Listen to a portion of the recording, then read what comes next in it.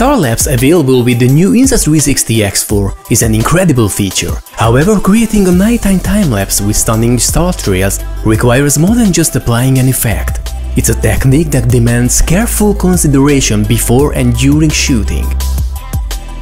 In this video I guide you through the entire workflow step by step, demonstrating how to create high quality star-lapse content. The first step is selecting the best location for your star-lapse. One crucial question is whether to shoot in a city or in a remote area surrounded by nature.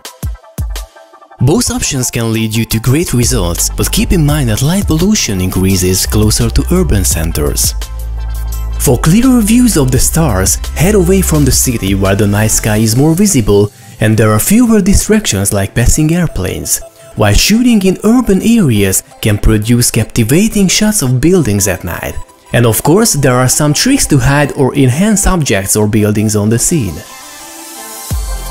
By shooting from a low angle, you can conceal objects like cars or buildings, drawing more attention to the sky. Conversely, a higher camera position can eliminate obstructions like bushes or small trees, resulting in a larger expanse of sky in your final photo or video.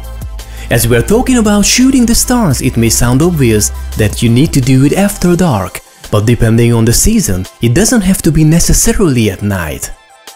During winter you can start shooting in the afternoon and capture longer videos, while summer nights offer shorter shooting times. And as it's getting dark later, be prepared to venture out in the middle of the night for the best result. Additionally, keep an eye on the weather forecast, paying attention to wind, clouds and rain. Wind is very important, especially when you shoot in a higher camera position. As you will shoot with slow shutter speed, it's very important that your camera must be still during that long exposure. Don't be afraid of using steady tripods instead of monopods which are more likely to move, doesn't matter how stable they are. There are some very steady ones which will never fall off, but even these ones will swing in the wind with the camera on the top, while heavy and steady tripods will be the best for long exposure. Paying attention to clouds is very important, as a sky full of clouds will hide the stars. On the other hand, some passing clouds look very cool and create a real three-dimensional feel of your star-lapse video.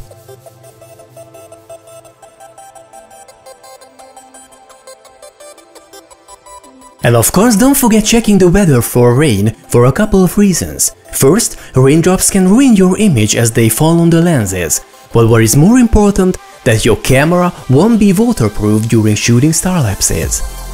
I will talk about it in more details soon, but for an all-night shooting you will have to connect a power source to your camera, opening up the cover over the USB connector, so you will definitely have to avoid shooting in rain. And talking about timing, last but not least I need to mention checking the moon calendar too. Full moon is very bright, so less stars will be visible, while on the other hand it can lighten up the foreground too. So your environment will be more visible during the whole video and even on the star trail photo too. So when the location or anything on the ground is also very important, it's better to shoot with the moon on the sky. But focusing only on the stars, capturing them with a dark ground and some silhouettes at night, you should shoot without the moon on the sky. Anyhow, it's only a matter of taste, but it's good to know what to expect and checking the moon calendar to choose the best night for shooting.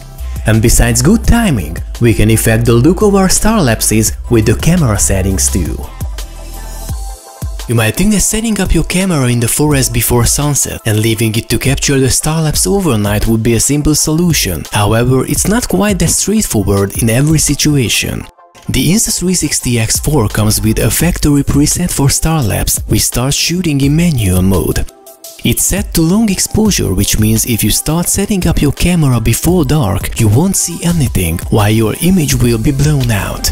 So in such cases turn your camera to normal photo or video mode for a proper preview during camera placement and then switch to star-lapse right before recording.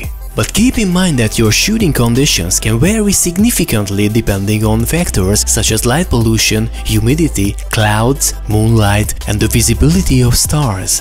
So it's recommended to fine-tune in each shooting situation. That's why you should set up your camera after dark.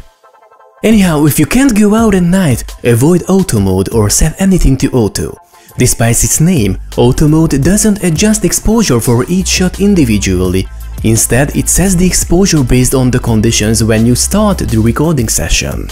It means if you start shooting before sunset, your nighttime shots will be too dark or even totally black. You'll only have your sunset and morning frames exposed properly, but your star lapse will be unusable. Ideally, you should be present on site at the right time to make adjustments as needed. However, keep in mind that most Insta360 cameras, including the X4, do not offer a proper preview in low light conditions, and the app will also show you a message about it. Therefore, you'll need to take some test shots to fine-tune your settings. They can be single photos, or you can start shooting the star lapses and stop capturing after the first images are taken to check out the results. That's how you can fine-tune your settings to the current conditions. If you have enough experience and you're confident in your settings, you can even set up your camera in advance, so you can start capturing before sunset and leave the camera overnight, returning in the morning. While the first and last frames may be overexposed due to daylight, the starlapse portion will still produce stunning results. So after choosing the right time, location, camera angle and position, and of course the proper exposure settings, you can start shooting. Shooting with X4, Starlapse mode will be a perfect choice as after capturing everything, the app will do most of the post-production itself without having to merge our photos and create the effects manually.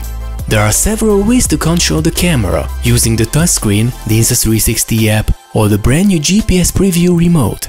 More or less, you'll get the same result, but of course in certain cases it has several advantages of using the phone or the remote controller.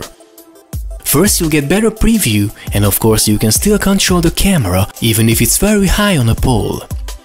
And of course you'll need to charge the camera during such a long shooting session. The most obvious choice is using a power bank which can provide enough power all night long. However, since most power banks are not waterproof, you'll need to take precautions to protect them. As mentioned, I don't recommend to shoot in rain, but it can be a protection against the morning dew too. Additionally, be sure to cover any indicator lights on the power bank to prevent them from affecting the image. Similarly, disable the indicator lights on the camera for the same reason. If you position the camera too high to attach the power bank nearby, consider using the Insta360 Power Selfie Stick.